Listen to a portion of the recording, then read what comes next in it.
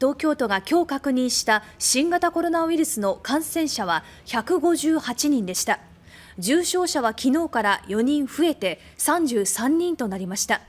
重症者の数が30人台となるのは先月25日以来です。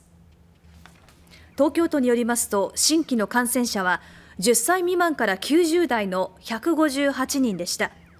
重症患者は前の日から4人増えて33人となりました。30人台となるのは先月25日以来です。